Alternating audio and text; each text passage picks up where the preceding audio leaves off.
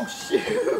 This is the Adventure Force Metal Racer, and this is the treadmill we will be driving it on to see just how fast it is. And just to let you guys know, there's probably going to be a crash. Now, if this thing does crash, which it probably will, I set up this table here so it can go right into it. Now this is one mile per hour. As you can see, the car can go one mile per hour easily. But we'll be going faster and faster until the point when it crashes into that wall back there. Well, technically a table on its side, same thing. Now let's go to two miles per hour. Alright, as you can see, still not a problem. That was a little bit faster though, that scares me. Three miles per hour. I would do it like this the whole time, but you know, that takes out the fun of it. We want to crash. So as you can see, it's getting a bit faster and the car is a little more shakier and uncontrollable, but it can still do 3 miles per hour. Now, 4 miles per hour is starting to get into the faster speeds. There's probably going to be a crash here in a second, but let's do 4 miles per hour. Okay, so right off the bat, as you can see, it's getting quite a bit faster. Oh no, but so uncontrollable. But hey, it's doing it. Oh shoot, no! Now you saw what happened at 4, Let's do five miles per hour. Oh no, I can see it already.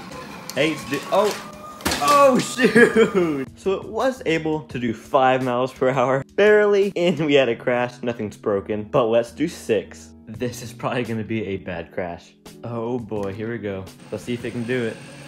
Oh, oh no. Oh, it's doing it, it's doing Oh, oh man! So it looks like 6 or around 6 is the limit because as you can see it crashed. Still nothing broken, I don't know how. But we are actually to go all the way up to 10 miles per hour. Definitely not to be able to do 10, but this is to be a ridiculous crash. Alright, 7 miles per hour.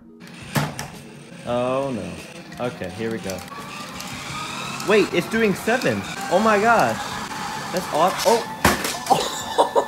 So I'm actually really surprised that this can go 7. This actually goes faster than when I did this test before, somewhere up there. Alright, 8 miles per hour.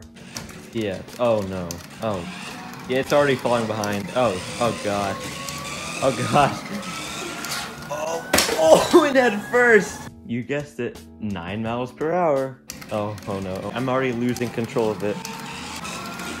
Oh, oh, shoot! So this is a minor thing, but as you can see, the tire actually uh, came out of its rim. I'll go ahead and fix this and go do 10 miles per hour. And just a fair warning, this might be the end of this car, but let's find out. I'm actually kind of nervous for this. Here we go, here we go, here we go.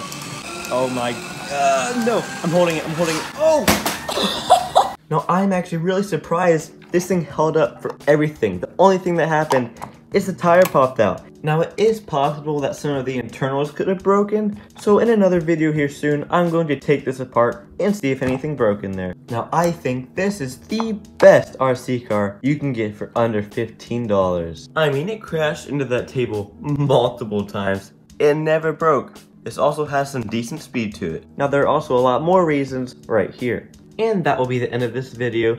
Thank you guys so much for watching, and I'll catch you in the next one. Stay awesome out there. Peace.